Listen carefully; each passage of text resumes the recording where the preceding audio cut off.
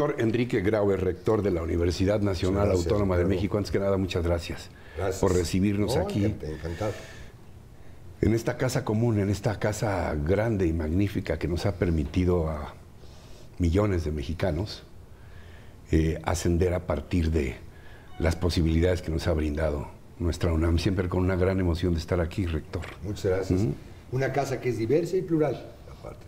A propósito, desde hace 49 años, a propósito de esta diversidad, desde Barro Sierra, estuvimos ahí caminando con él en el 68, eh, que un rector de nuestra UNAM no salía a marchar a la calle. ¿Qué te decidió hacerlo en este momento tan especial que vive el país, en esta convocatoria por la unidad nacional y contra los ataques sistemáticos del gobierno de Donald Trump?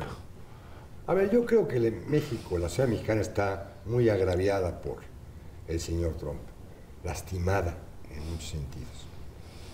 Nosotros eh, estuvimos viendo qué podíamos hacer. De hecho, nos reunimos con distinguidos universitarios y directores de nuestras escuelas y facultades e institutos y analizamos el problema. De si en estos comentarios juntos decidimos tener una postura ante ello. Esta postura se salió en la prensa con un documento que se llama la, UNAM por México y sale a la, ya la, parte pública y cuando esto sucede coincide con la formación de este grupo de organizaciones sociales que estaba planteando una posible marcha. Y congruentes, Vibra México. Es Vibra México. Congruentes con la postura que se había adoptado, decidimos invitar a la comunidad a que se manifestara también. Ahora, eh, ¿qué respondes? No, tendría que ver con lo de 68, Ricardo. Yo creo que son casos muy distintos. No, yo decía nada más que no había salido un rector nunca a la calle. Son, sí, entiendo que son casos diferentes, pero retomo algo que dijiste en tu primera respuesta. Eh, hablaste de una universidad plural, diversa.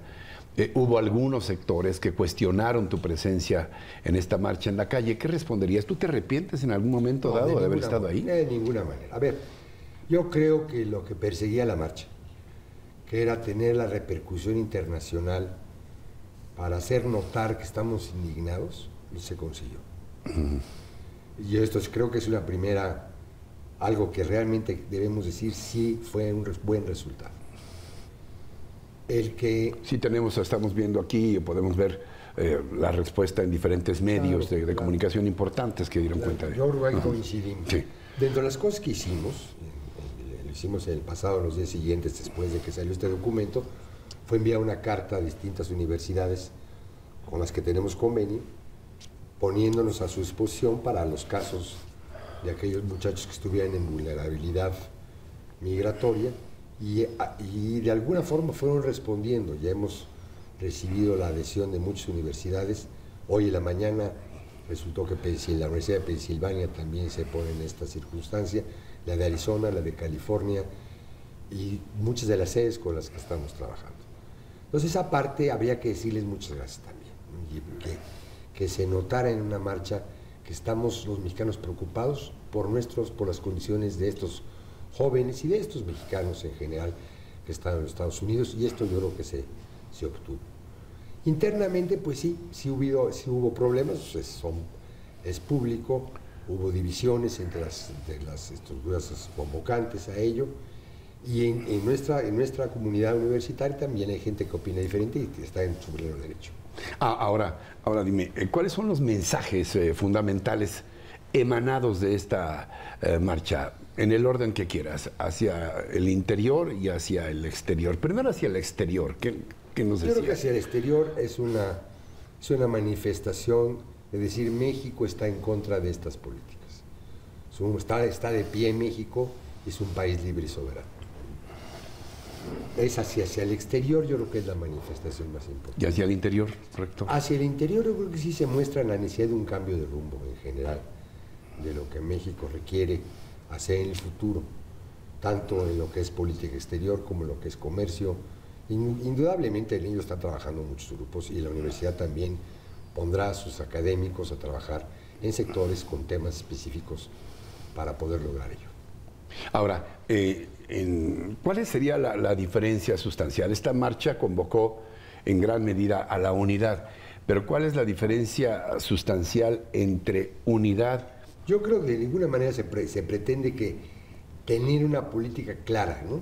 Yo creo que lo que México busca es certeza en las acciones que se están tomando por parte del Estado y sirva también esto como un llamado a la necesidad de que suceda esto. Eh, también la marcha me parece que eh, plantea que algo tenemos que hacer aquí, porque hasta ahora pareciera ser que este gobierno del señor Trump, que apenas ha cumplido tres semanas, parece increíble. Parece como eh, seis años ya. sí, este, nos ha puesto contra las cuerdas y nada más eh, reaccionando como si nada pudiéramos hacer aquí adentro. Incluso daba, daba la impresión de que las propias comunidades allá nos estaban poniendo el ejemplo, incluso comunidades sajonas, ciudades, universidades que dijeron, aquí no vamos a permitir que entre la persecución contra los ilegales. En México no se ha manifestado en ese sentido. Yo creo que algo que también se consiguió en 16 ciudades fue de la República Mexicana demostrar que sí estamos indignados y que estamos con ellos. Y esto es otro gran mensaje que se pudo enviar. ¿Pero tú crees que ya salimos del shock? No. Todavía no. No, yo creo que todavía seguiremos viendo acciones de agresiones en nuestro país y las redadas están sucediendo y tendremos que tener posiciones mucho más firmes.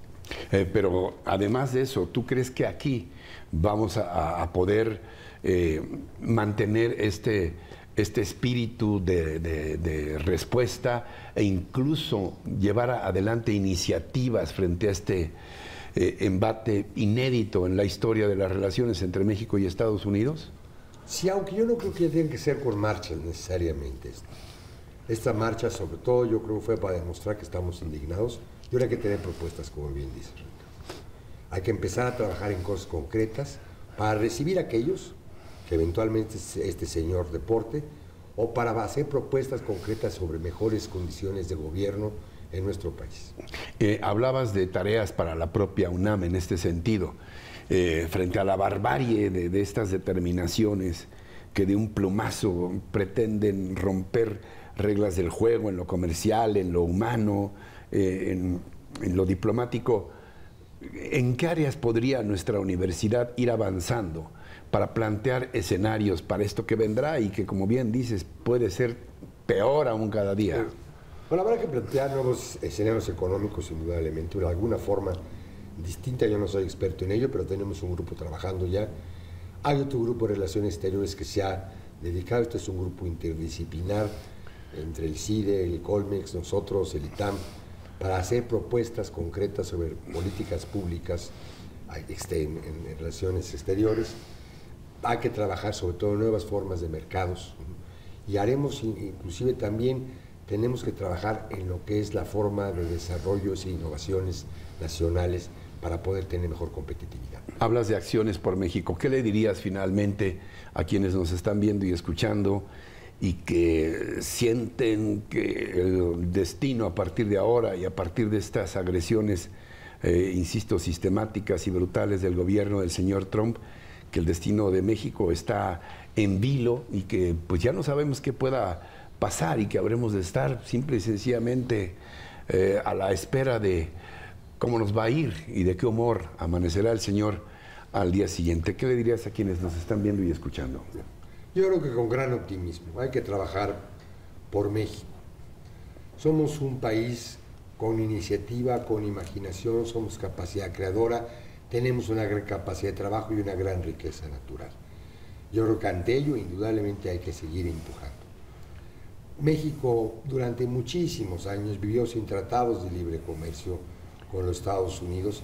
De hecho, y crecimos fuertemente en esa época también. Si tenemos que encontrar nuevas formas de desarrollo que, y para ello tendremos que trabajar unidos en ese sentido. Algo más que puntualizar, señor rector, que no te haya preguntado.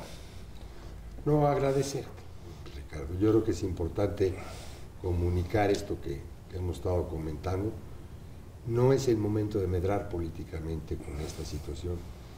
Eh, hay que estar unidos por nuestra, por nuestra nación, por buscar un mejor México, un México distinto, un México que dé cabida y que elimine la inequidad social que tenemos. Doctor Enrique Grauer, rector de nuestra UNAM, eh, gracias por esta conversación, este espacio, de sabes, se queda abierto. Muchas gracias a ustedes también por su atención, por su compañía, pero sobre todo por su confianza, que yo creo que en estos tiempos es un elemento Importantísimo. Fundamental, la confianza. Eh, yo los espero la próxima semana. Hasta entonces, hasta siempre.